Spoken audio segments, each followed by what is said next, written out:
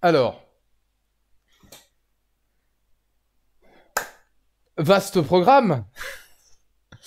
Godzilla X Kong. Un nouvel empire. J'ai même oublié ce qu'était le, sous-titre du film. Hein. Je crois que c'est euh, un nouvel empire. Vaste, vaste, vaste programme. Il y a autre chose qui est très vaste. C'est le resub de Mouloudchat pour 3 ans. 36e mois, dont 32 consécutifs. Comment ça va mon loup chat? Merci beaucoup pour le resub, ça fait plaisir. Un resub euh, qui tombe à pic puisqu'on va parler aujourd'hui d'un petit bijou. Voilà, un joyau. Euh, si tenté d'appeler euh, évidemment ce film en ces termes. Godzilla X Kong. je crois un nouvel empire d'Adam Wingard. Waouh, rien que ça, ça fait rêver. Adam Wingard, grand réalisateur s'il l'en est. Death Note, le live action Netflix, Godzilla vs Kong. Bref, que des bijoux, que du cinéma, le véritable cinéma. Et vous allez me poser la question pourquoi je veux voir ça? Parce que j'aime être flagellé au corps, tel Johnny Sin, être fouetté est une de mes passions. Non, tout simplement parce que j'aime beaucoup les films de kaiju et que euh, je suis un immense fan du Godzilla de Gareth Edwards et que euh, je voulais voir jusqu'où ils étaient capables d'aller euh, dans le médiocre, mais surtout dans une optique où c'est drôle parce que Monarch est sorti récemment et Monarch pour le coup lui était sérieux, un peu par moment grand guignolesque hein, sur, euh, sur son final, mais Monarch était une série très intéressante, notamment sur Monarch et sur le passé de Kurt Russell. Donc effectivement, quand tu as une série qui redonne ses lettres de noblesse à Godzilla, bien filmée, du gigantisme, des beaux plans, de la mise en scène, tu te poses une question quand même qui est exceptionnelle. Comment c'est possible de sortir ça au cinéma ensuite? Et c'est là le véritable débat. C'est la question qu'on va tenter de se poser d'ici 5-10 minutes le temps que tout le monde arrive évidemment, euh, et le temps de euh, eh bien de saluer euh, déjà les, membres du chat qui sont là pour le débat du soir. Je m'en étouffe en avance, probablement ma volonté de mourir avant de parler de ce film. Salut mon R2077, salut et bon anniversaire je vais vraiment mourir en live. Euh, bon anniversaire. Non, c'est bon, je crois que c'est bon. Bon anniversaire à Moyaya qui fête aujourd'hui son anniversaire dans le chat. Je veux un maximum de bon anniversaire pour lui. C'est l'anniversaire du Yaya. Bon anniversaire mon Yaya, j'espère que tu vas bien, que tu as pu profiter au maximum et que les quesadillas étaient bonnes. Salut euh, mon Cebu, salut mon Sky, mon Joya bien sûr en légende, j'espère que tu vas bien. Euh, salut mon Nono, oui c'est lui qui a fait le le Death Note en live action, qui était un autre grand film, hein, vraiment une belle adaptation, euh, qui a eu d'ailleurs moult suite, hein, dans le sens où c'était très bon. Il y a mon Seb qui est là pour le sel, il va y en avoir. Euh, salut mon Yaya encore une fois et merci pour les 100 bits. Euh, hello, comment va l'empereur Royan? Moi super, j'ai bien mangé, j'ai été gâté. Qu'as-tu pour ton anniversaire mon Yaya? C'est la question qu'on se pose. je suis chaud, des petits comics à se mettre à l'arrière de la gueule. Et j'espère que, ouais, la nourriture était bonne. Je crois que c'était toi qui étais au fourneau pour les quesadillas, donc j'espère que c'était bon. Qu'est-ce que t'as eu pour ton anniversaire, mon Yaya? Donc on va, oui, effectivement, euh, d'ici 5 minutes, parler de Godzilla X Kong, et puis je poserai évidemment les questions qui fâchent, qui l'a déjà vu, qui compte aller le voir. Euh, avant ça, je vous rappelle, pour les audacieux, si vous vous sentez audacieux, qu'on est à 28 subs de la barre des 250, euh, qui est une barre qu'on n'a pas atteint depuis très longtemps, donc ce serait un bel objectif peut-être pour ce stream, pour la fin de semaine, sait-on jamais, de passer la barre des 250, parce que ça fait un moment qu'on ne l'a pas passé, puis sait-on jamais jusqu'où on serait capable d'aller. Donc merci à tous encore hein, d'être euh, plus de 222 subs, avec tous ceux qui offrent des subs à, continuer à faire vivre la chaîne, évidemment. Je le rappelle aussi, euh, vous aurez ces rediffusions, puisque ce live sera en rediffusion, bien sûr, sur la chaîne secondaire YouTube. Euh, vous pourrez voir d'ailleurs en bas dans la bio de Twitch que certaines choses ont changé. Maintenant, quand vous cliquez sur l'onglet YouTube, vous tombez sur la chaîne secondaire, comme ça vous aurez directement les de live. Vous pouvez voir aussi qu'il y a maintenant euh, le planning qui sera mis à chaque fois ici. Euh, j'ai rajouté dans le programme des émissions certaines choses. Et normalement, reste à voir si certains euh, veulent tenter le coup, mais normalement, les dons refonctionnent. C'est-à-dire, en plus des bits et des subs, il y en a qui n'aiment pas beaucoup les bits ou les subs. Je crois normalement que les dons refonctionnent et qu'on aura des alertes de dons. Euh, alors aujourd'hui, ça sert à rien parce que j'ai pas eu le temps de les faire, mais je crois que ça remarche. Donc je vous dirais, je vais essayer ce week-end de refaire des alertes de dons sympas et normalement, les alertes de dons classique, c'est-à-dire euh, PayPal, etc., normalement refonctionne. J'ai passé la journée à refaire tout un tas de trucs. Autre chose par contre qui ne fonctionne pas du tout, c'est ma vidéo sur Jared qui a été bloquée pour droit d'auteur. J'ai déjà dû euh, supprimer 50 secondes de la vidéo par miracle. C'est 50 secondes de vidéo où c'est des phrases qui n'entachent pas l'analyse, donc ça va encore t'arrives à comprendre. Il y a des cuts, c'est dégueulasse, mais t'arrives à comprendre. Disons que euh, si je mets en, sous-titre, si jamais j'arrive à trouver, parce que pour l'instant c'est toujours bloqué. Hein. J'ai retiré 5 fois 10 secondes et c'est toujours bloqué. Donc bon, c'est comme ça, c'est Universal. J'ai vu mon Seb que le Monde Perdu avait été bloqué aussi, ça c'est une belle surprise. Ils m'ont bloqué Universal, la coup sur coup, le Monde Perdu, la vidéo qu'on avait fait ensemble, et euh, Jared. J'ai deux options. Je vais continuer de voir si Jared, je peux quand même la laisser éventuellement euh, comme ça, et puis tant pis, je mettrai un petit épinglé communauté euh, en, dans les commentaires en disant, bon bah si à un moment donné il y a des trucs que vous trouvez euh, assurés, c'est normal, j'ai dû faire des cuts parce que YouTube m'a censuré, mais vaut mieux que la vidéo soit là et qu'elle fasse 48 minutes sur 50 plutôt qu'elle soit pas là du tout. Si j'y arrive pas, euh, bah nique sa mère, je mettrai la vidéo sur Vimeo. Je ferai un dernier post en anglais communauté et ma vidéo j'arrête en intégralité, ma vidéo sur le monde perdu, ma vidéo sur CM Punk et toutes les vidéos qui n'ont pas trouvé euh, grâce aux yeux de YouTube seront mis dans une chaîne Vimeo, comme ça les gens pourront voir quand même la fin. Ce qui serait très chiant hein, forcément, mais je pense même que de toute façon le Vimeo je le ferai avec la vidéo de Jared euh, normale, en, en, en, non en non cuté. Mais euh, voilà, c'est les joies de YouTube hein, évidemment. Le parcours sur YouTube était tellement chaotique que ça devait forcément terminer comme ça. Donc ça me fait chier. Euh, mais euh, j'ai tellement de choses en tête, je, vous avoue pour l'instant en ce moment que bon, j'ai pas eu trop l'occasion de m'y atteler. Hein. J'ai travaillé toute l'après-midi pour retirer des séquences, des segments, des segments. J'ai déjà retiré plus de 50 secondes, il me faut encore chier pour des extraits de 9 secondes. On n'a pas d'extraits de plus de 10 secondes, la plupart c'est des extraits de 9 secondes. C'est-à-dire que YouTube resserre encore plus la vitre. Euh, voilà, c'est ça ce, qui, ce, qui, se passe quand on veut être un créateur sur une plateforme qui aujourd'hui préfère les shorts et n'accepte pas la création. Euh, je dis bien YouTube, je suis bien content de m'être barré de cette merde, je vous en cache pas. Euh, surtout quand il se passe des trucs comme ça. Donc voilà, euh, pas de pas de vidéo sur Jared, elle aura duré 4 jours. donc donc bon, c'est ça fait chier, mais ça fait chier, mais c'est comme ça. C'est je ferai tout mon possible en tout cas pour qu'elle revienne. ça vous en faites pas. J'ai reçu deux Blu-ray Aquaman 2 que j'ai pas encore vu et Winchester, le spin-off de Supernatural et le comics La Route. Oh, stylé de ouf Le comics La Route, il doit être excellent, euh, Yaya. C'est vrai que t'as été gâté, c'est trop cool. C'est trop cool. Le comics La Route, j'imagine qu'il est adapté de euh, du film ou alors du bouquin. Je crois que c'était La Route, il me semble que c'était un bouquin avant d'être un film. Ça se trouve le comics est inspiré du bouquin aussi. Je sais pas si c'est la même route. Et merci mon papy et mon Slade qui offrent respectivement deux subs. Euh, merci beaucoup mon papy pour le 386e abonnement offert à la chaîne et merci mon Slade pour le 200, les chiffres donnent le tournis, 243e abonnement offert euh, par Slade. Merci beaucoup mon Slade, ça fait plaisir. On est donc plus qu'à 26 subs de la barre des 250 si vous vous sentez audacieux, seulement si vous le pouvez bien sûr. Merci à vous euh, et merci pour Siété et pour Casinico. Ah, c'est quelqu'un, euh, quasi Nico. Euh, un jour il est Nico et un jour son prénom est différent. Il sait pas trop. Il sait pas trop. C'est c'est quasi Nico. Peut-être que des fois c'est c'est quasi là. Donc peut-être le week-end il s'appelle Nico. On sait pas. Cet homme est un mystère, mais il est maintenant sub chez Value Artworks. Et ça c'est un plaisir. Ça c'est un plaisir. J'ai pris un strike TikTok et YouTube. Ça existe les strikes TikTok? On peut striker sur TikTok? J'avais ah bah tu me diras oui on peut strike sur Instagram. Euh, donc, euh, donc oui. Oui, parce qu'Instagram, c'est merveilleux. Tu as le droit d'utiliser la bibliothèque musicale qui te propose, mais si tu mets une musique pourtant dans la bibliothèque musicale euh, de ton plein gré, là, non, dans ce cas-là, tu peux aller te faire foutre. C'est merveilleux. C'est merveilleux. Oh, et le Sky qui offre un sub à Astérion le Bon, ça, ça me parle. Ça, ça me parle. Le Sky qui, après Johnny Sins, envoie un petit sub à Astérion. On est peut-être plus qu'à 3 minutes d'un train de live, hein, si vous voulez soutenir la chaîne. Euh, on n'est plus qu'à 25 abonnements aussi. Merci beaucoup, mon Sky, pour le sub offert à Astérion le Bon. Euh, si jamais le train de live arrive, évidemment, on, lancera le train de live pour légende. Euh, merci beaucoup, mon Sky, pour le 457e abonnement offert. C'est, euh, je vous le dis, c'est monstrueux. Merci beaucoup, beaucoup, beaucoup. Et merci infiniment aussi à, Yaya pour tous les bits, hein, parce que Yaya est à 638 715 bits offerts.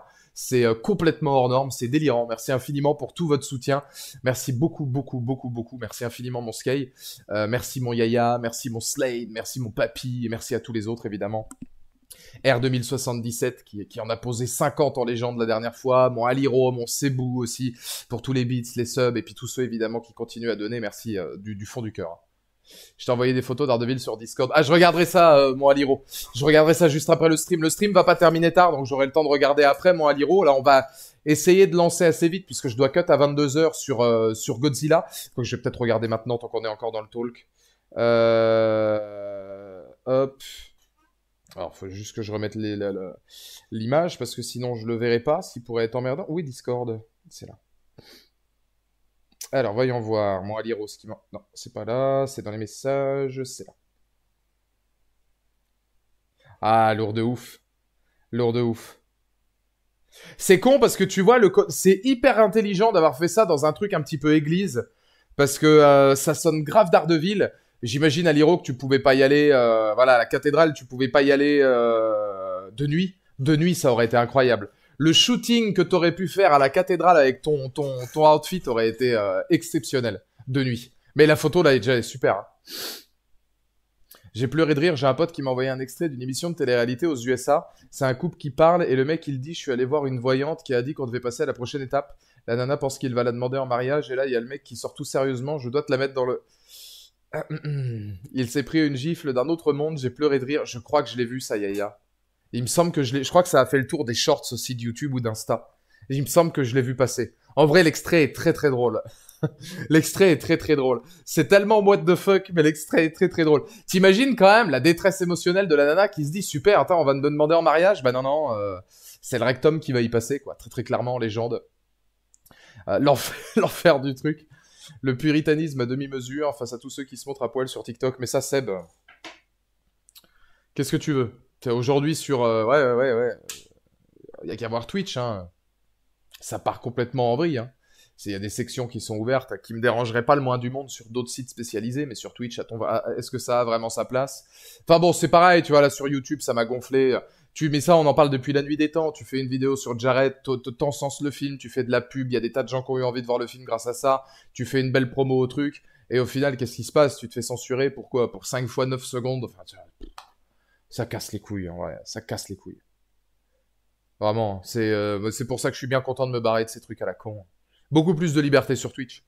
Aujourd'hui, j'ai pas eu de nouvelles d'elle. Euh, ça fait mal au cœur de se dire que j'ai tout fait pour elle, peut-être trop. Elle est trop changeante n'a pas vraiment fait d'effort, mais je trouverais mieux qu'elle. Alors, mieux, sans aucun doute pour toi, oui, euh, qu'il soit mieux pour toi sans aucun problème.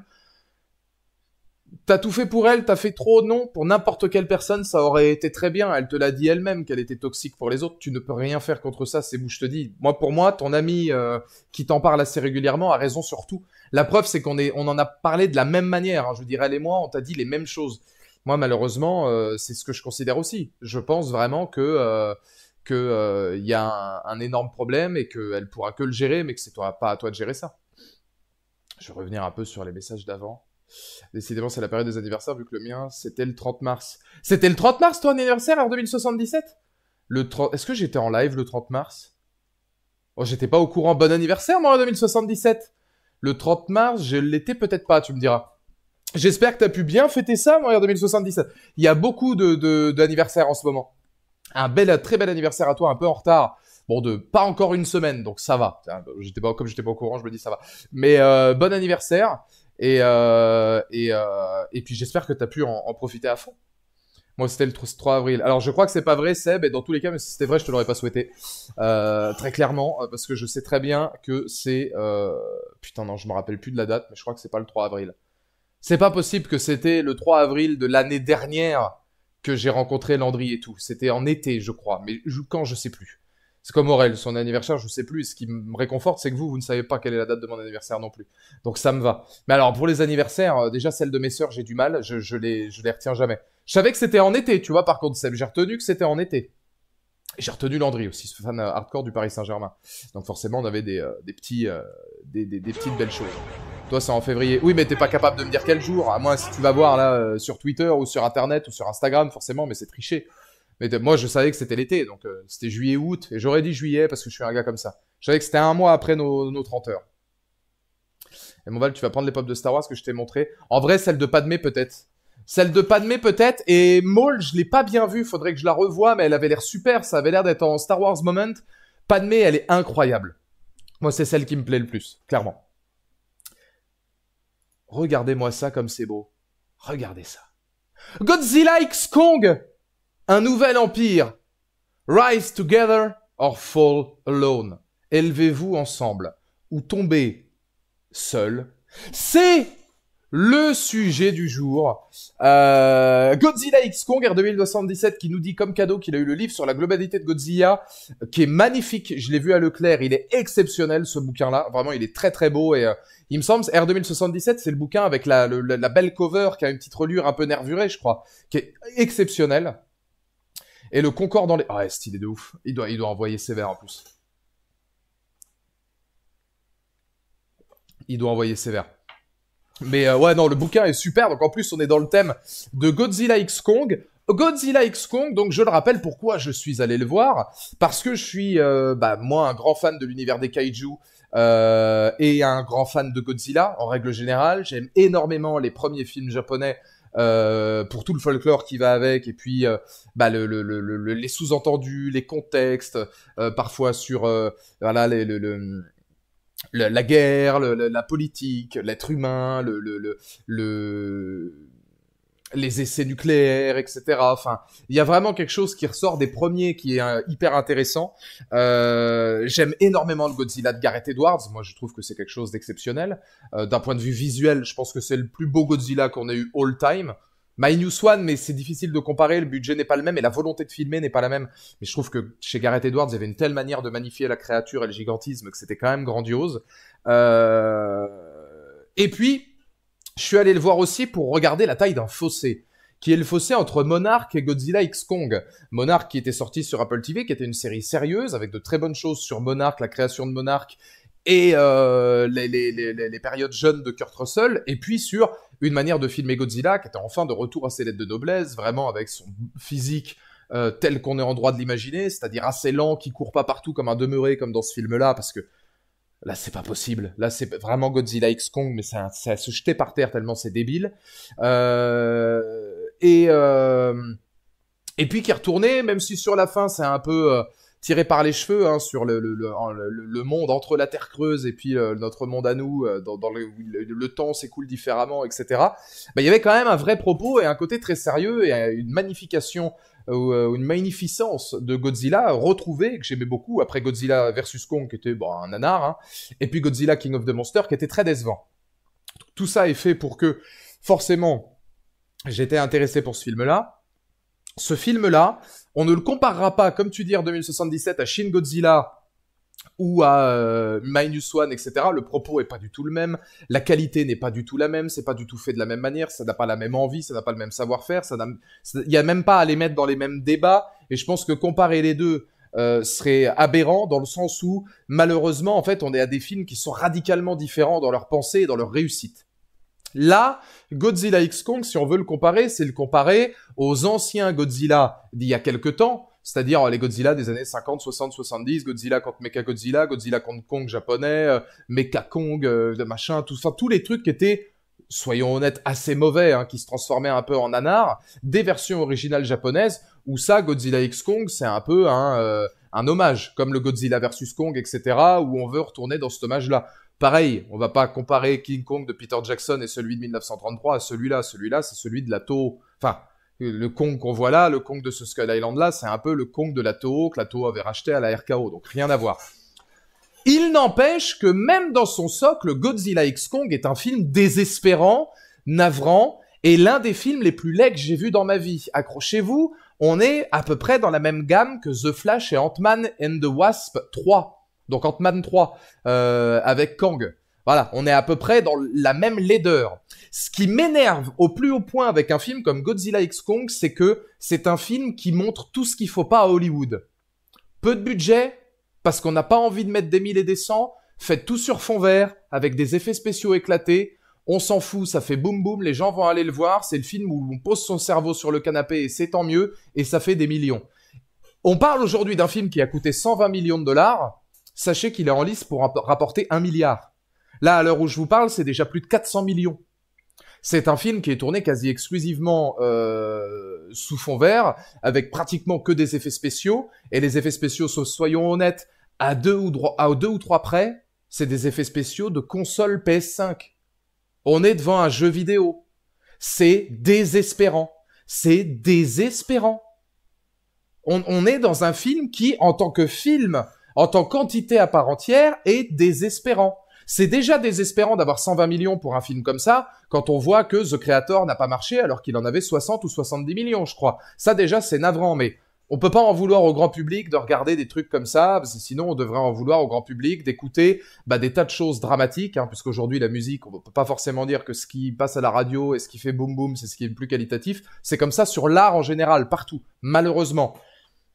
C'est quand même une catastrophe de donner du budget à des films comme ça, euh, et, que ça marche en plus. Parce que ça, ça va dire, ça va faire comprendre au studio et dire au studio, pourquoi se faire chier à faire de la qualité ou à prendre des risques, ou à donner du budget à des petites firmes, ou à des choses euh, un peu plus intimistes, ou euh, pourquoi, tu vois, mettre que 100 millions dans Godzilla X Kong, et puis mettre 20 millions dans un projet hyper indépendant, quand on sait pas si ça va revenir, les recettes, et que là, en mettant 120 millions, on est sûr d'en faire 4 ou 500 millions. C'est désespérant. Alors on a de la chance, hein, aujourd'hui, Marvel, DC, machin, etc., ça marche un peu moins. DC, j'espère qu'avec James Gunn, ça redeviendra positif. Heureusement, parce que James Gunn, je pense qu'il est capable d'eux. La Marvel, ça se casse la gueule. Les films sont de moins en moins bons. Un ou deux projets intéressants par-ci par-là. Chez Marvel, ou même ailleurs, l'Eldorado s'appelle le jeu vidéo. Exemple Spider-Man, par exemple. Heureusement qu'on peut aller chercher vers là euh, certaines euh, mises en contexte. Mais c'est un film que j'ai trouvé effectivement stupide, et voilà, aberrant et qui n'est pas bon pour le cinéma, qui porte un mauvais message pour le cinéma. Ça véhicule quelque chose de mauvais. Ne mettez pas 200 millions dans un projet qui en vaut la peine, mettez-en que 120, mais dans un projet tout fond vert, effets spéciaux, etc. Et encore une fois, dans une, dans, dans, dans un film qui est tellement long, tellement genre pas fun il y a beaucoup de gens qui se sont posé la question dans le chat, notamment Sky, je crois, c'est lui qui me demandait, est-ce qu'au moins le film est fun? Le film n'est pas fun. Pas du tout. On s'ennuie même une grande partie du temps parce qu'encore une fois, le nom euh, des euh, protagonistes et leurs aventures n'est pas intéressant pour un sou. Mais vraiment pas du tout. Et c'était plus ou moins déjà le cas avant, mais c'est là où justement, euh, je trouvais que Gareth Edwards, pourtant on lui reproche souvent de pas avoir des, des de, de, de, segments forts vis-à-vis de ses personnages. C'est vrai qu'en général, les personnages avec Gareth Edwards, c'est pas ce qui met le plus sur le devant de la scène, hein, on est plus dans une fresque. Euh, mais là, c'est un délire. Les acteurs en plus sont pour la plupart insipides au possible. Je, le seul truc que j'ai retenu, c'est que t'en as un qui est probablement en plus le vétérinaire du film, qui est le plus détestable et le plus arrogant et le plus insupportable du film, qui a la voix de Damien Witeka, donc la voix de Leonardo DiCaprio en VF, c'est tout ce que j'ai retenu. Voilà, on n'a pas voulu, ça aussi, on n'a pas voulu mettre le budget, je pense. Millie Bobby Brown, aujourd'hui, elle coûte trop cher. Euh, T'as beaucoup d'acteurs comme ça, le film aurait coûté 200 millions. Non, non, non, on n'en a pas besoin. On va prendre ceux qui coûtent pas trop cher, ceux qui sont pas connus, c'est pas grave. C'est pas grave. Et on va leur mettre, encore une fois, des situations humaines qui ne sont pas intéressantes. On n'apprend rien de particulier sur Monarch. Alors, dans les points positifs, il n'y en a pas beaucoup, j'en ai compté trois. Non, deux. Non, trois, enfin, neuf. Non, deux, deux, parce que le troisième, c'est vraiment, enfin, c'est le foutoir. Il y a un point positif que j'aime bien parce que pour retracer l'histoire dans son contexte, on est quand même euh, beaucoup plus centré sur Kong. Kong qui est toujours dans une quête de chercher sa famille. Voilà, il cherche des semblables, des gens qui lui ressemblent, etc. Et en Terre Creuse, il n'en trouve pas. Il se trouve qu'il va trouver le mini Kong qu'on voit dans la bande-annonce, et puis que par la suite, il va se rendre compte que les singes euh, sont pas du tout euh, accueillants et qui sont gérés par un chef, un leader qui veut revenir euh, euh sur Terre, hein, donc remonter un petit peu le, le, au-delà de la Terre Creuse et revenir à la surface, qui s'appelle le Scar King. La seule chose que j'ai trouvé intéressante là-dedans, c'est le traitement de Kong on travaille la solitude de Kong, et c'est ça aussi qui est aberrant, c'est qu'en fait le film aurait pu être que ça. C'est, j'aurais préféré que le film soit mieux fait visuellement, filmé par un vrai réalisateur, parce qu'on va y revenir, la réalisation, c'est, j'ai rarement vu ça dans ma vie, un film en 3D sans lunettes. Genre, vous regardez un film, je sais pas si ça vous est déjà arrivé dans le chat, à un moment donné, dans un film en 3D, de retirer vos lunettes juste pour voir ce que ça donne 10 secondes. C'est la même merde. On est sur un film qui ressemble à un film 3D sans lunettes. Je n'ai jamais vu ça de ma vie.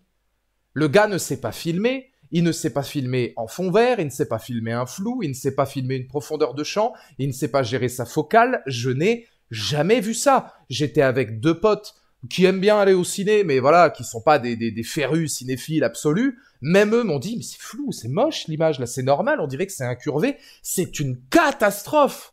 Je n'ai jamais, honnêtement, je n'ai jamais vu ça. Jamais. Jamais. J'en ai vu des daubes, hein. on a vu The Flash, je n'ai jamais vu ça. Un manque de professionnalisme à ce point-là. Bref, ça, on y reviendra après. Ça commence à devenir péchu, hein, pour tous ceux qui voulaient du sel, mais euh, le... L'un des points positifs, c'est justement le travail autour de Kong. Kong, effectivement, est développé, on travaille sa solitude, et si on avait fait un film entier là-dessus, sans humain, sans histoire annexe à la con, en gardant du budget pour les mettre un peu plus dans avoir un vrai réal et aussi euh, des effets spéciaux bien plus intéressants que ça parce que là c'est une catastrophe. Euh, ça aurait été beaucoup plus pertinent. N'empêche que le travail autour de Kong est plutôt travaillé dans sa solitude. Il y a une certaine empathie vis-à-vis. Moi, je suis Team Godzilla à fond, hein. mais il y a euh, euh, il y a, a, y a une certaine empathie pour Kong. Ça devient complètement grand, grand guignolesque à la fin, et puis on en fait encore des caisses avec l'humanisation des animaux, etc. Bref, encore classé des kaiju, donc je me dis pourquoi pas, mais quand c'est tiré à l'excès, c'est navrant. Exemple Godzilla versus Kong, quand Godzilla rigole quand il met une patate à Kong, j'ai eu envie de jeter mon PC. Hein. Était sorti à l'époque au Covid, donc il n'était pas au ciné, j'ai eu envie de balancer ma télé. Euh, mais autant, à ce niveau-là, on, on peut pas dire que c'est pas travaillé. Deuxième point relativement positif, euh, le bestiaire est développé. C'est pas quelque chose qu'on peut nier. Par rapport aux anciens films, le bestiaire est développé. Ça va euh, d'effets spéciaux catastrophiques à des effets spéciaux un peu plus intéressants et à des designs de créatures un peu plus intéressants.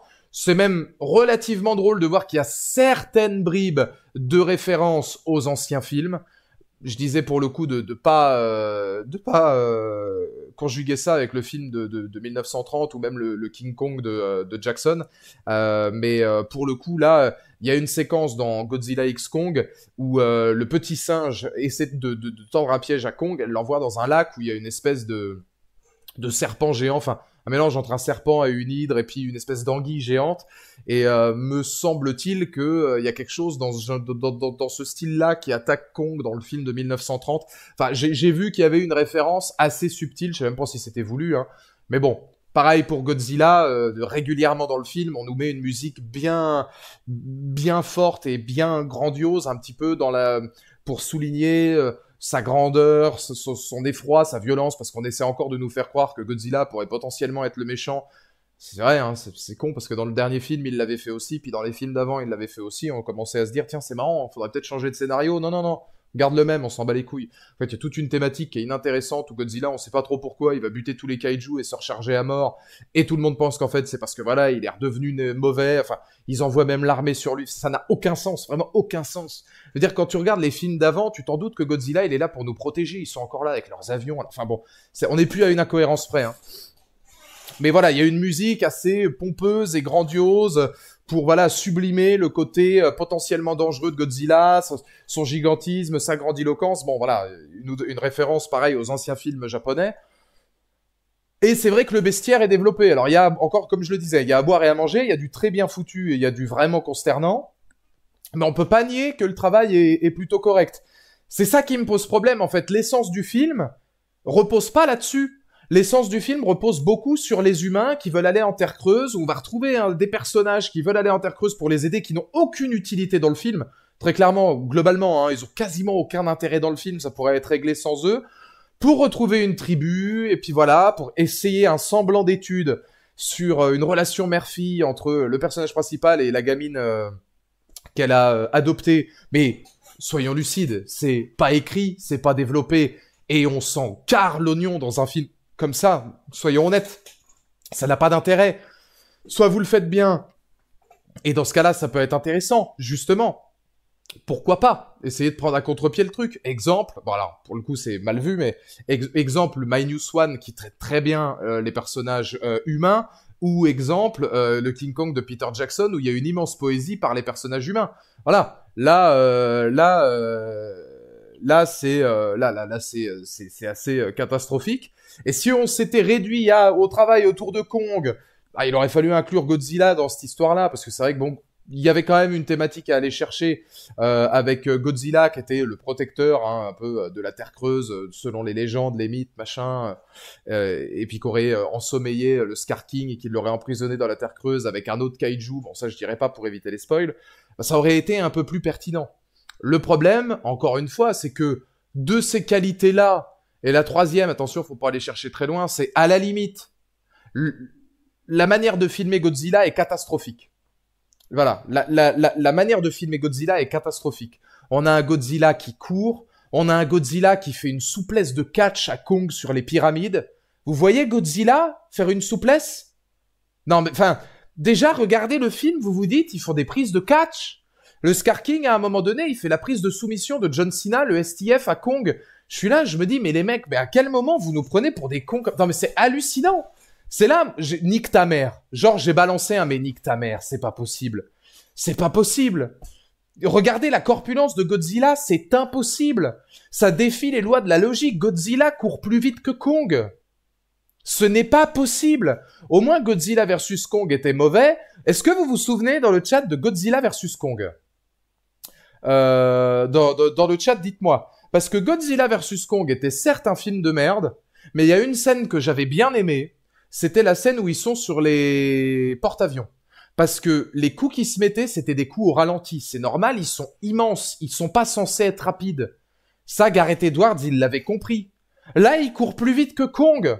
On a des séquences où Kong, il est à dos de Godzilla. Tu te dis, mais frère, ils font la même... Ce n'est pas possible. À un moment donné, il y a des changements de trucs. Godzilla, on dirait, il perd 10 mètres. Juste pour pouvoir être sur Godzilla. Et puis, enfin, c'est aberrant de bêtises. C'est aberrant. Et moi, ça me vénère parce que Godzilla, pour moi, c'est un demi-dieu. Je suis un fan hardcore de Godzilla. Le voir tourner au ridicule comme ça, ça me démolit. Euh... Voilà, c'est c'est démoli. C'est démoli. Et, et, et ça donne des situations ahurissantes, quoi. Le pire, c'est qu'il y a énormément de détails importants qui sont restés dans la novélisation. Par exemple, fun fact, Godzilla reste à Rome parce que ça lui rappelle les ruines détruites King of the Mountain où il se reposait. C'est adorable, mais le film s'en contrebranle. Ouais, par exemple Au moins ça, travaille-le Il vient à la fin du film se recoucher dans le Colisée, en plus. Donc tu te dis, putain, mais à un moment donné, explique-nous pourquoi il est là. Ah non. C'est juste, on a un plan, oh, c'est mignon. Dans la salle, les gens... Non mais vraiment, t'es là, genre, moi j'étais comme ça, je fais, c'est pas possible. Genre, ok, t'aimes bien Godzilla, mais toi dans la salle, t'as Godzilla qui se met en boule dans le Colisée. C'est choupinet. Ah putain. Bah ouais, bah évidemment qu'on dépense 400 millions là-dedans. Les gens, tu mets Godzilla dans le Colisée en boule en train de dormir comme un chat, ils vont, ils sont contents. Qu'est-ce que tu veux que je te dise? Qu'est-ce que tu veux que je te dise? Au moins, travaille-le, explique-nous, explique-nous pourquoi il, se met là. Non, rien d'expliqué. C'est ce que j'allais dire. Le, seul truc, à la limite, c'est parce que moi j'aime beaucoup Machine Gun Kelly. J'aime bien la colorisation rose de, de, Godzilla, je trouve ça stylé. En termes de visuel et d'esthétique, je trouve que c'est plutôt stylé. Puis alors attendez, alors il y a un truc aussi, mais on en parle de la bande originale. Le film, je vous jure, ça, mais c'est un film mais fait n'importe comment. Il y a des phases, on dirait Top Gun, le premier. Il y a une musique des années 70-80 en synthé. Il y a des ralentis sur des mecs avec une colorimétrie extra, extra exagérée où t'as l'impression que c'est Top Gun. Et puis après, t'as une musique lyrique, ça n'a aucun sens. Que ce soit Kong ou Godzilla, ça vient pas de ces années-là. T'as pas d'idée à faire des références à des films des années 70, 80, et c'est ça 6 minutes. Comme ça, par-ci, par-là. De temps en temps, t'as un synthé qui arrive, musical, sorti de l'espace-temps. Mais qu'est-ce que tu fais Pourquoi? Pourquoi tu mets ça? Enfin, je veux dire, ça n'a aucun intérêt. On dirait que les gars, ils, ils, sont même pas concertés, quoi.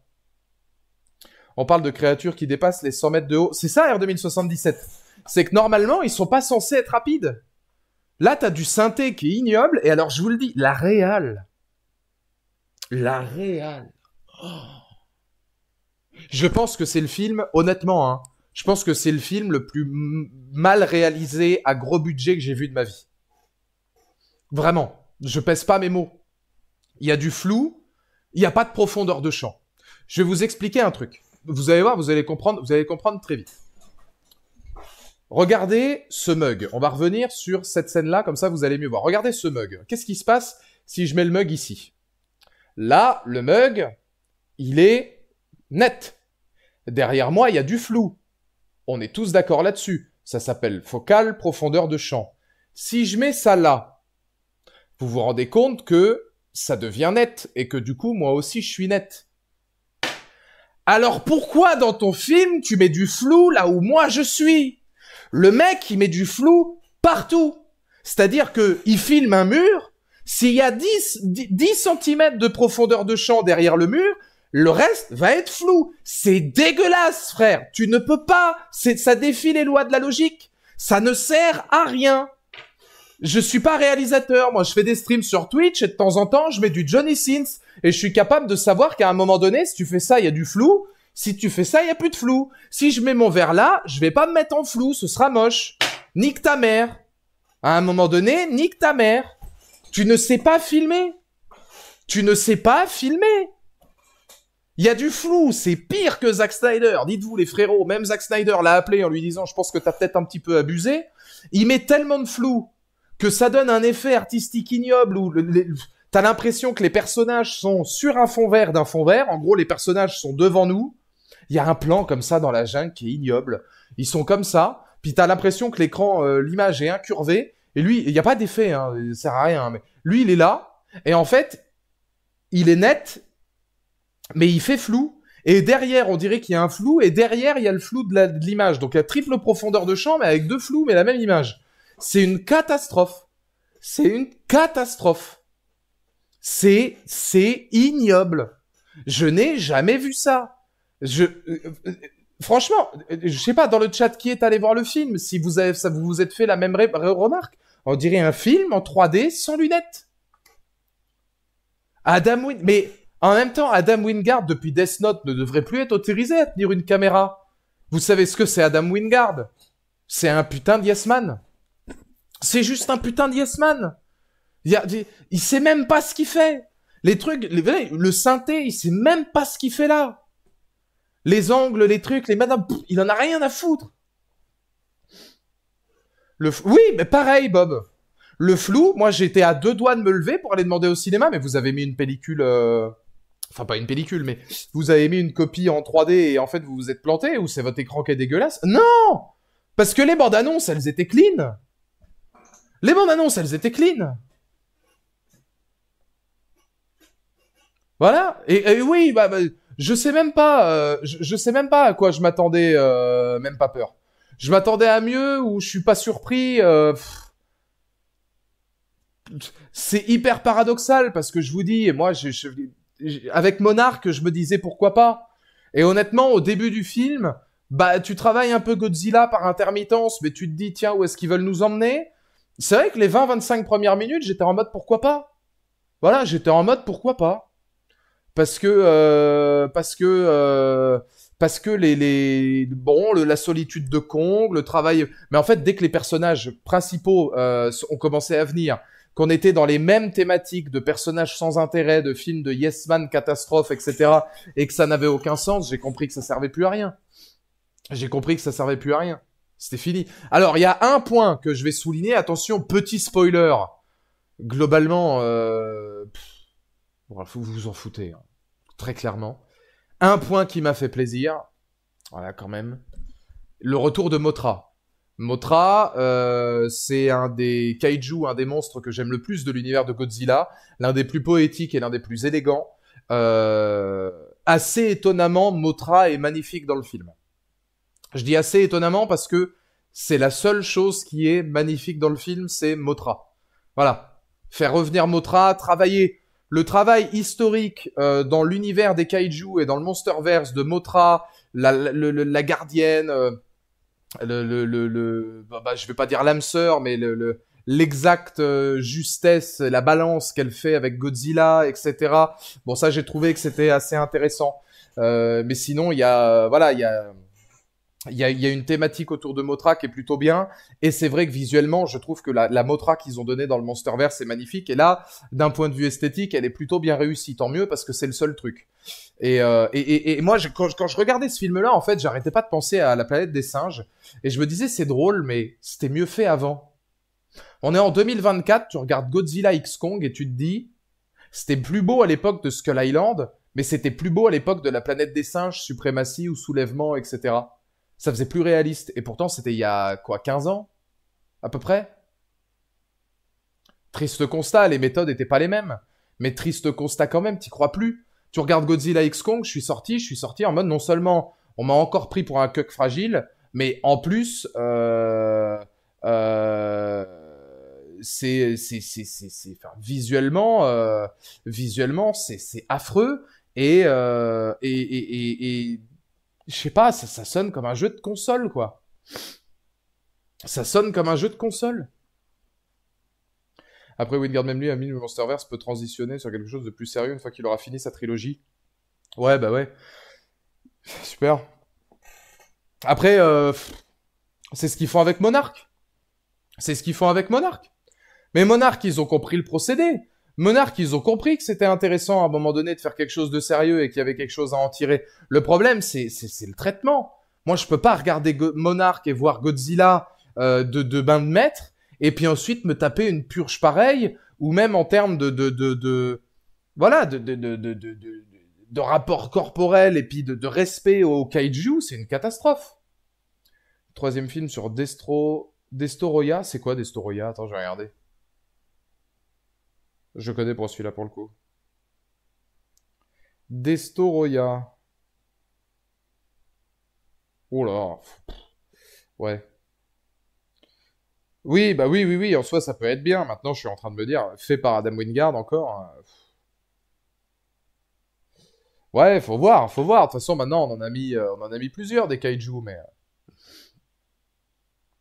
Il faisait pas tout en effets spéciaux. Bah, le, tout au numérique, maintenant, euh, voilà, hein, euh, le, le, le, le, tout au numérique a pris une part euh, considérable. C'est pas pour défendre le film. Godzilla X Kong, c'est difficile de mettre de l'animatronics. Globalement, euh, euh, globalement, c'est c'est compliqué. Hein. C'est compliqué. De, de, c'est trop grand, c'est voilà, c'est pas évident. Puis après, sinon, tu retournes au, tu, tu refais comme My News One Minus One l'avait compris, ouais, parce que Minus One, il a fait des images de synthèse et en même temps, il gardait le charme plastique euh, un peu à l'ancienne. Mais alors dans ce cas-là, c'est pas de l'animatronique, c'est carrément maquette, etc. Et eux, ils le faisaient très bien. Mais il faut que ça ait ce sens-là. Sur un film comme Godzilla X Kong, t'as pas le choix. Maintenant, regarde Godzilla le premier. Le premier Godzilla de Gareth Edwards, bah le tout était au numérique, c'était en effets spéciaux, ça n'empêchait pas d'être immense visuellement, parce qu'il faut juste du savoir-faire. C'est tout simple, il faut du savoir-faire. Je l'ai vu hier soir, et même moi qui est un défenseur du Monsterverse, y, y compris Godzilla vs Kong, parce que c'est un plaisir coupable. Bah, Godzilla vs Kong, je l'avais moins détesté que celui-là. Hein. Il y avait deux trois trucs qui me faisaient chier, mais euh, je l'avais moins. Celui-là me fait plus chier quand même. Et bien même pour moi, j'ai trouvé ce film navrant et c'est un bon 8 sur 20. Ah ouais, ouais, ouais bah moi ça prendra 1. Hein. Godzilla X Kong, bah ça prend 1 ou 1,5 sur 20 sur, euh, sur, euh, sur Letterboxd. Hein. Comment ça va, moi, Alfred? En soi, rien n'empêche Godzilla de reposer Milden dans les prochains films et de être bien montré à l'écran. C'est pour ça que je préfère oublier que détester. Le film n'a pas massacré l'univers, et heureusement. Non, mais euh, c'est un manque de respect. C'est un manque de respect pour les créatures.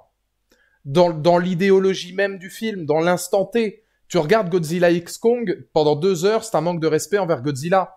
Alors oui, ça pourra toujours être mieux après, parce que on n'est pas dans une purge où tu te dis, voilà, là, ils ont fait un truc cataclysmique qui va emmerder les six prochains films, ou qui rend par accord les quatre d'avant. Mais ça fait chier. Enfin, et encore, moi, je dis ça, honnêtement, par rapport au Godzilla de Gareth Edwards, moi, je serais Gareth Edwards, je vois ça aujourd'hui, je fais la gueule. Je me dis, putain, j'ai travaillé pour faire un truc à peu près correct, et là, aujourd'hui, il fait cavaler mon Godzilla comme si c'était une Sean Bolt avec Kong sur les épaules, quoi. Bah, Mick en vrai, euh, Transformers a été un euh, Transformers a été une grosse révolution euh, numérique. Transformers, on peut pas dire que les effets spéciaux du premier soient pas bons. Même du 2 et du 3, après c'est devenu naze. Mais les trois premiers, les effets spéciaux, c'était une petite révolution. C'était du tout numérique. Mais encore aujourd'hui, Transformers est dix fois plus beau que Godzilla X Kong. Mais tous les jours, tous les jours. Mais en même temps, t'as Michael Bay derrière. Michael Bay, tout le monde aime bien dire que c'est un charlot. Michael Bay, au moins, il sait gérer une caméra. Il, sait, Michael Bay sait filmer et sait gérer une caméra. Adam Wingard est un guignol. Adam Wingard est un guignol. Death Note, c'est un film de guignol. Godzilla X Kong, c'est un film de guignol. C'est fait par un guignol. Un yes man qui ne sait pas gérer un film, qui ne connaît probablement pas ses créatures.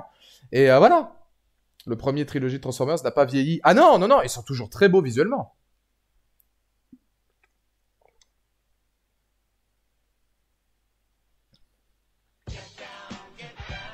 Et merci mon Sebou pour le sub offert à Greedy le Gringo.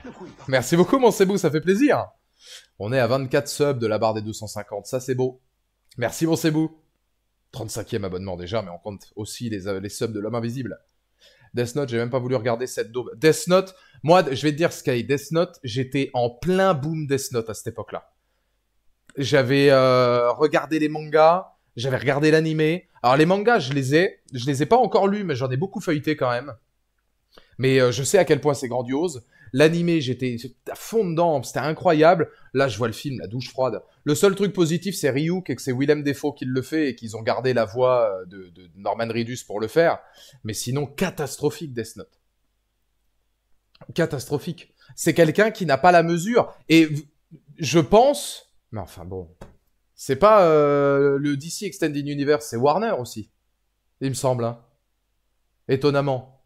marrant ça, parce que Warner, ils ont la licence du Monster, Monsterverse et ils avaient la licence d'ici. Ils ont réussi à flinguer les deux. Hein.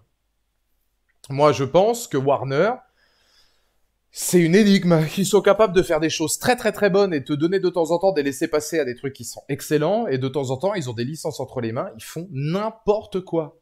Là, cette licence-là, ils en ont fait n'importe quoi. De la même manière que d'ici, ils en ont fait n'importe quoi. Et c'est le problème du cinéma, quand t'as des producteurs qui pensent qu'à l'argent, qu'on n'ont rien à foutre, et un réal qui sait pas ce qu'il fait, tu peux pas avoir un bon film. Et puis des fois, t'as Matt Reeves qui arrive et qui fait The Batman. Ah, bah là c'est autre chose. Ah, bah là c'est autre chose. Parce que Matt Reeves, il a de la matière première, c'est un grand réalisateur qui sait ce qu'il fait. Et étonnamment, ça reste quand même, je crois, Warner, hein, parce que c'est Batman. Donc du coup, il data Joker de Todd Phillips, où il donne de temps en temps des passes droits par-ci par-là, on sait pas par quel miracle. Mais oui, c'est Sofiane, euh, moi, Alfred. Là, j'ai dit Alfred parce que j'ai vu le message, je voulais surtout penser à dire bonjour, mais... Mais euh, bon, au moins ils ont eu la décence de s'excuser pour Death Note. Ah oui, oui, oui, non, mais moi, les excuses, je les attends depuis euh, King of the Monsters. Hein.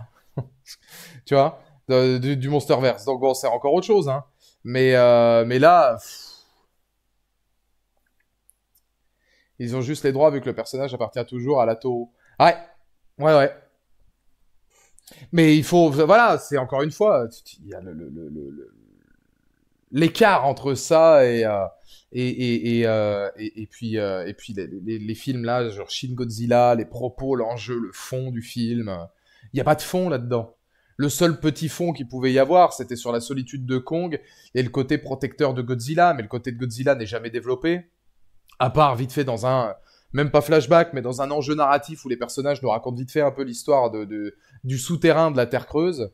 Euh, et puis euh, Kong, euh, bon bah voilà, il n'y a pas de conclusion. Y a... Le film se termine, vraiment, le film se termine comme un, un film de série B direct ou DVD. Voilà, c'est euh, le film se termine comme ça. Moi, ça m'a choqué de me dire, il y a pas de fin. Genre, ça se termine vraiment euh, jusqu'au bout, ils en avaient rien à foutre. la, seule évolution qu'il y a, c'est Kong au moins il retrouve ses semblables. C'est tout. Sinon, il n'y a pas d'évolution. Hein. Godzilla, il a un point A, il se retrouve à un point B au même endroit à la fin, quoi. Godzilla, ouais, c'est plus de la figure. D'ailleurs, ils lui ont changé son cri son, son, vrai cri initial, qui était quand même monstrueux hein, euh, dans euh, le film de, de, Gareth Edwards, il doit le pousser deux ou trois fois. Là, il lui donne des cris full random. Euh, c'est triste. C'est triste. Et, et, et si j'ai voulu faire cette critique et si j'ai voulu en parler, c'est parce que pour moi, c'est un cas d'école. C'est un cas d'école de ce qu'il faut pas faire au cinéma et de pourquoi le cinéma, de temps en temps, part un peu en couille.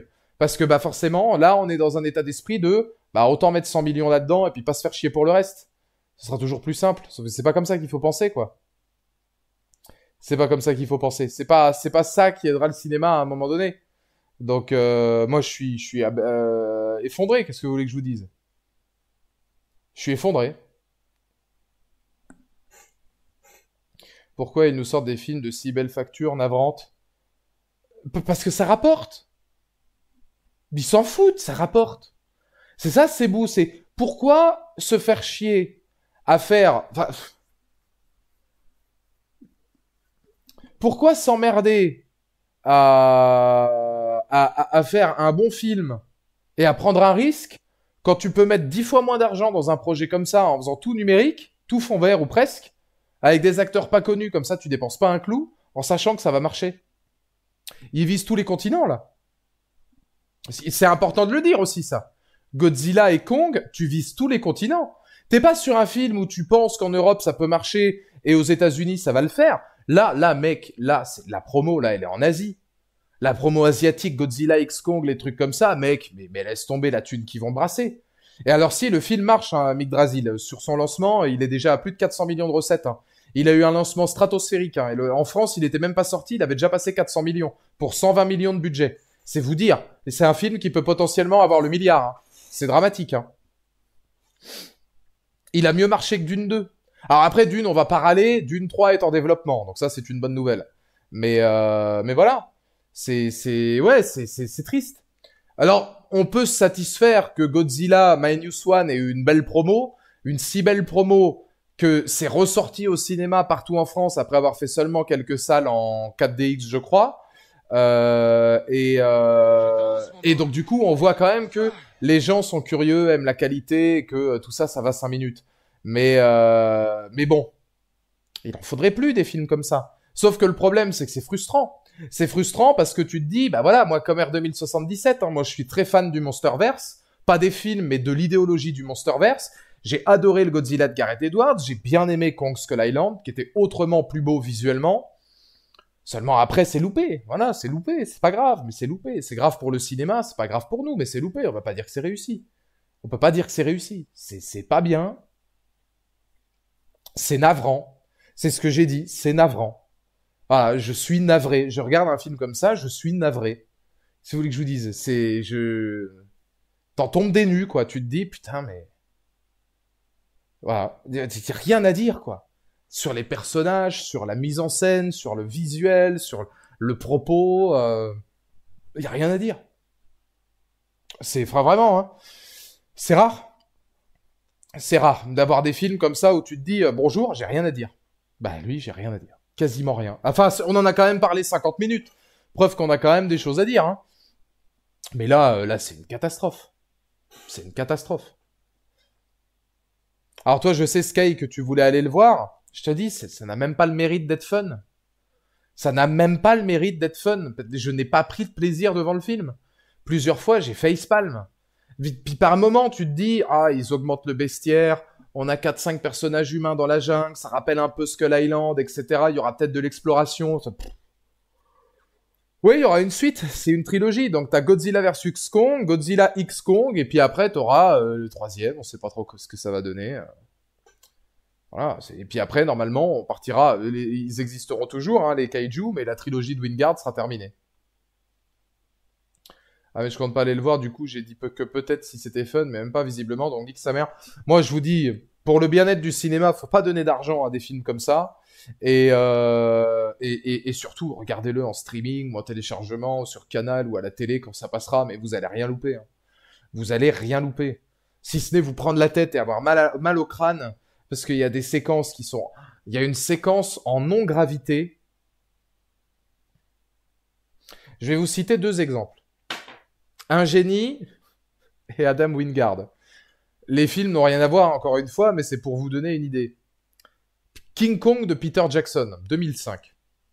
Il y a une scène d'une précision de mise en scène chirurgicale qui dure pas longtemps, mais qui est grandiose. C'est quand Kong se bat contre les trois Virex. Sur les trois, il en tue un, il y en a deux qui tombent dans un ravin.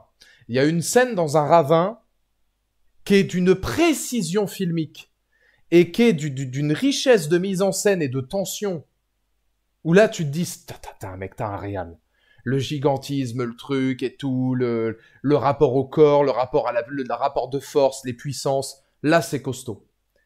Et là, t'as Adam Wingard. t'as Adam Wingard qui s'est dit, on va faire une scène sans gravité avec des singes, Godzilla et un autre kaiju. Ce qui fait qu'en fait, bah, les plans sont ultra euh, épileptiques. Toutes les trois secondes, t'as un plan différent. Et en fait, bah, Kong, tu le vois euh, planer là dans, l'air, euh, en train de graviter, non graviter, on sait pas trop où. Godzilla, c'est pareil, ils font la brasse dans l'air pour essayer d'aller taper les copains. Mon Dieu, j'ai vu ça, je me suis dit, c'est pas possible. C'est pas ça, putain, ça a aucun sens. Mais vraiment, hein, c'est un film qui a aucun sens. La scène est dégueulasse. Tu te dis, putain, mais... Oh là là là là là. Il faut le valider au scénario, cette idée-là, de se dire, on va faire un truc en anti-gravité avec Kong. C'est une catastrophe. C'est une catastrophe.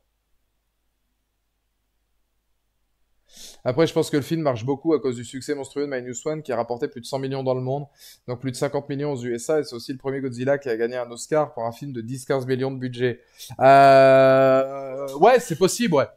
Oui, je pense que t'as eu le buzz de euh, Godzilla Minus One où les gens se disent ah trop cool, ça nous remet dedans. Tu me diras Monarch a pas spécialement marché alors qu'il aurait pu profiter du buzz aussi. Hein. Monarch est pas mal passé inaperçu. Mais oui, il y a cette idée-là. Maintenant, euh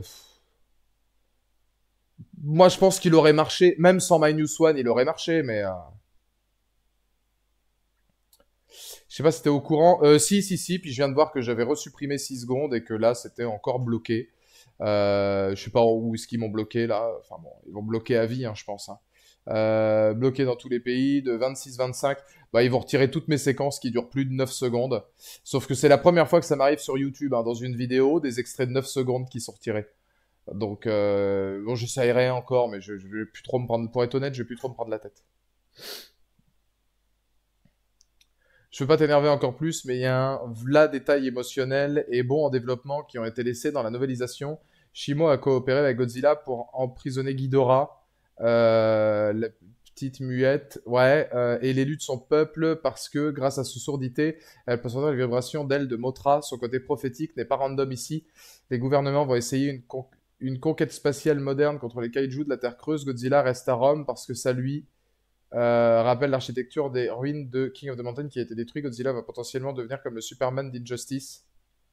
Euh, oui, non, mais il y a plein de trucs comme ça, hein, Bob. Il y a plein de trucs comme ça où tu te dis, il y avait des choses à développer, mais le traitement de la gamine, euh, c'est vraiment... Moi, je me suis dit, ah bon, en gros, elle a des super pouvoirs, quoi. Genre, c'est pas expliqué du tout, hein. Genre, on arrive, ouais, salut, ils font de la télépathie. Ta gueule, c'est magique. Ils parlent par télépathie. Puis elle est capable de ressentir les choses à des kilomètres, machin, mais ce n'est jamais expliqué. C'est expliqué par bribes, c'est même pas développé. Enfin, c'est ouais, non, c'est consternant. C'est consternant. Donc, euh, donc on va, on va, on va, on va, on va, on va s'arrêter là, hein, parce que c'est vrai que c'est un, c'est un film qui est, qui est désespérant. Puis parce que à 22, je devais, je devais cut à 22 heures. C'était un petit stream puisqu'il y aura la rediff de toute façon sur euh, sur Twitch. Euh, je vais vous faire des, bisous, des, des, des bisous. Alors c'est vrai que d'habitude on passe un peu plus de temps, on fait au moins une heure, hein, entre une heure et une heure et demie. Euh, même pas un mot pour Shimo. On n'en fait rien de Shimo. On n'en fait rien. Je veux dire, Shimo, euh, le design, je le trouve pas beau. Et encore une fois, c'est un valet, c'est un laquais, quoi. C'est vraiment un laquais. Donc, euh, donc, donc, euh, oui, il y a un non-respect vis-à-vis des kaiju. Peut-être plus tard dans les autres films, on aura une réelle importance. Mais là, tu, tu comprends pas son retournement de situation, tu le devines, mais c'est pas intéressant. Je préfère arrêter sur le sub de, ma petite femme, ça c'est un peu plus intéressant déjà quand même, oui. 20 mois consécutifs, 30e mois pour l'amour de ma vie. Comment ça va mon amour? Comment ça a été la séance? J'ai cru que t'allais cut killer avant l'alerte. Non, non, non, bah là je cut parce que euh, je bouge après, et puis parce que de toute façon, bah... Remplir 1h5 déjà sur Godzilla X Kong est une petite prouesse, euh, très clairement. Mais, euh, mais, mais voilà. Et Skarking, bah Skarking nul bah, Skarking, en même temps, il n'y a pas de développement. Bon, bah, il a été emprisonné là, il veut remonter à la surface. C'est juste un psychopathe, euh, un psychopathe, un psychopathe, psychoquac. C'est juste un fou furieux euh, qui essaie de, démonter à peu près tout ce qui est possible et imaginable. Voilà. Rien, il y a rien à en tirer de Skarking. Le, le, le visuel, c'est un jeu PS5. c'est non, y a rien à dire. Scar King, il y a rien à dire. Enfin, je veux dire, le visuel aurait pu être intéressant, mais c'est fait comme un jeu PS5. Et puis euh, voilà, pas de développement, pas de traitement, c'est vraiment bas de gamme. Il est là, euh, il essaie de euh, voilà, il a souvi les autres singes en esclavage pour essayer de remonter à la surface. C'est pas intéressant. Enfin, je veux dire, il y a rien quoi. Il y a même pas vraiment de duel entre lui et Kong. Le combat final est bâclé. c'est tout le film qui est bâclé. Hein. C'est vrai que là-dessus, moi, j'ai rien à dire. Le, bestiaire est certes évolué, mais quand ils sont le capables de louper même le meilleur, Godzilla, il ressemble à rien. Ressemble à rien. Seul point positif, c'est Machine Gun Kelly et son loup grosse, tu vois. Mais sinon, il ressemble à rien du tout. À rien, c'est une catastrophe. C'est, il est mal foutu, il est mal filmé, enfin bon, Merci mon Cebu pour le sub offert à The King. Merci beaucoup mon Cebu, ça fait plaisir. On va s'arrêter là, la vidéo sera évidemment en rediffusion début de semaine prochaine. Ce serait dommage de louper ça sur la chaîne secondaire quand même. Un film d'une telle ampleur. Rendez-vous demain 14h pour du Planet Zoo. Euh, et puis, euh, je vous fais euh, des tas de bisous en maxi loot avant donc de se retrouver ce week-end aussi pour WrestleMania. Passez une excellente soirée du vendredi. À la prochaine. Des bisous.